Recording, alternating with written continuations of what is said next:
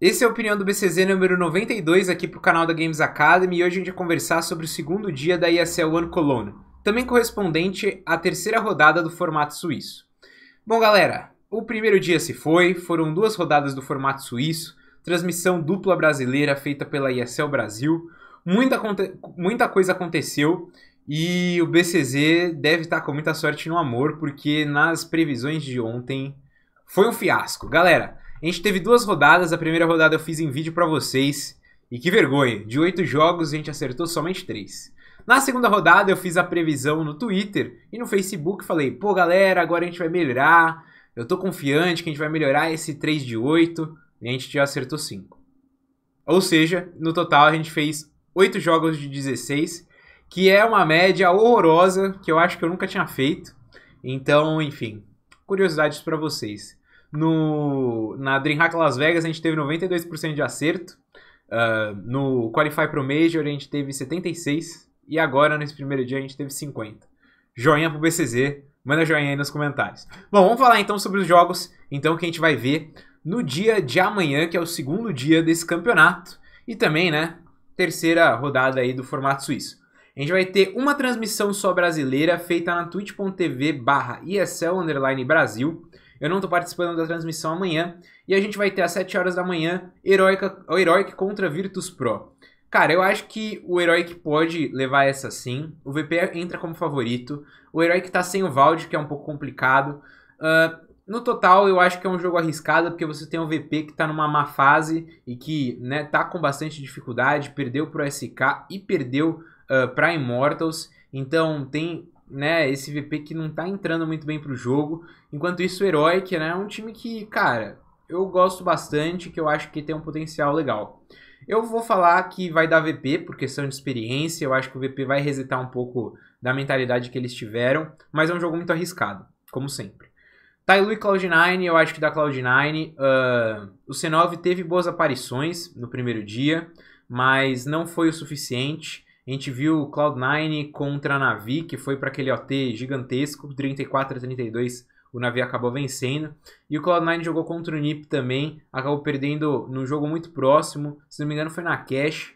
Eu cheguei a assistir esse jogo e o Steel estava apagadaço, o que tornou ainda mais difícil para o Cloud9 fazer qualquer coisa. Então o NiP foi lá e triunfou em cima dos norte-americanos. Eu acho que o Steel tem que aparecer, mas no Cloud9 eu confio contra o Tailu. Space Soldiers e Natus Vincere é um jogo complicado. A Navi perdeu para o Liquid e ganhou para o Cloud9 apertadaço, enquanto Space Soldiers ganhou da SK de 16 a 14. Eu tinha falado que ia ser um jogo mais fácil, mas o SK vacilou na cash. Uh, e perdeu, Space Soldiers perdeu para uh, o Optic, que foi, achei bem estranho, né? Como um Optic consegue ganhar de um North e perder para o Space Soldiers. Vai entender. Uh, eu acho que o Space Soldiers tem uma chance nesse confronto, mas para mim o navio amanhã vai estar tá full plow. Uh, Sky North, jogo arriscado. Uh, time do North é sempre um time chato de jogar contra. Eles gostam de alguns mapas que os brasileiros também jogam. Cash é um mapa que o North tem adicionado na sua map pool recentemente, enquanto o SK também né, tá muito bem na Cash, pelo menos estava nos últimos torneios. E uh, eles também jogam Cobblestone, então vai ser mapas que os dois times gostam de jogar, gostam de jogar Mirage também, os dois times. Uh, é um confronto legal pra gente assistir, difícil pra gente apostar, eu acho que da SK, uh, mas os dois times têm um map pool muito parecido atualmente, então pode ser complicado. O único mapa que o SK joga, que o North não joga, é a Train, e o único mapa que o SK não joga, que o North joga, é a Nuke. Então Train Nuke a gente sabe que a gente vai ver. Uh, Immortals e G2 também Immortal sempre pegando a G2 aí, pedrada, pedra no sapato. Das últimas vezes, né? A G2 foi realmente uh, uma sina na vida da Immortals. Eu acho que a Immortals tem chance, como a gente viu, por exemplo, no jogo do qualificatório uh, pro Major, foi um jogo próximo, né? E aqui no Major eu acho que vai ser a mesma coisa. Eu acho que pode ser um jogo ali que vai 16 a 13, 16 a 14, uh, OT, vai pro overtime. Eu acho que não vai ter nenhum assim, tipo, 16 a 8, sabe? Eu acho que vai ser um jogo bem apertado. Eu acho que a Immortals tem chance. Se você fosse apostar, eu apostaria na Immortals se as apostas estivessem compensando. Mas se não, eu iria na, iria na G2 ali. Uh, eu acho que a Immortals tem chance de ganhar a plena. só que a G2 tem sido uma pedra no sapato da equipe brasileira. Mas todos os jogos que eles jogaram têm sido os próximos. Fnatic FaZe, eu acho que da FaZe, Fnatic teve algumas boas atuações, mas a FaZe para mim tá muito boa, então eu acho que da FaZe. Nip e Mouse Sports, quem diria, hein? Nip Gaming. Nip Gaming, foi o Sávio falou, né? Mas acho que não é Nip Gaming. Enfim, Nip tem jogado muito bem. Ganhou da G2 por 16 a 9, ganhou do Cloud9 por 16 a 12. Mas, do outro lado, a gente tem a Mouse Sports. O Rez jogou muito bem, né? O jogo uh, de Nip Cloud9, se não me engano, eu tava até comentando. E o Rez teve uma boa partida. Eu não cheguei a ver o segundo jogo contra a G2 para ter uma noção ali de como foi e nem abrir antes de fazer o vídeo. Eu acho, cara, que é um jogo arriscado. Todos os jogos que eu tô falando são arriscados, né, pessoal? Mas é realmente um jogo muito arriscado.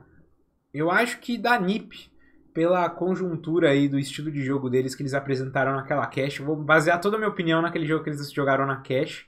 Não sei como é que foi contra a G2, mas eu acho que o NiP tem chance sim. Uh, provavelmente o Mouse Sports deve estar como favorito nas odds, porque o Mouse está jogando muito bem, então né, faz sentido. Detalhe que quem ganhar esse jogo aí já vai se classificar, né? Liquid Optic, jogo de norte-americanos, eu acho que da Liquid Optic, eu não sei o porquê e eu não sei como o Optic conseguiu ganhar do Space Soldiers. Para mim, o Optic é um time de um homem só do Mixwell. Tem o Rush também, que é um ótimo cara, mas para mim acaba ali o time, Mixwell e Rush. Um, e é isso, cara. Então, Liquid para vocês essa última aposta. Galera, vídeo rápido, tô muito cansado, eu transmiti de manhã, trabalhei à tarde, fui pro Sport TV à noite quero dormir. Abraço BCZ.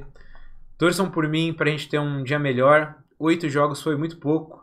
Eu espero que vocês não tenham se ferrado muito financeiramente com as minhas apostas. Obrigado pela audiência, pela sua paciência, por ser essa pessoa maravilhosa. E tchau. Abraço, Caimura.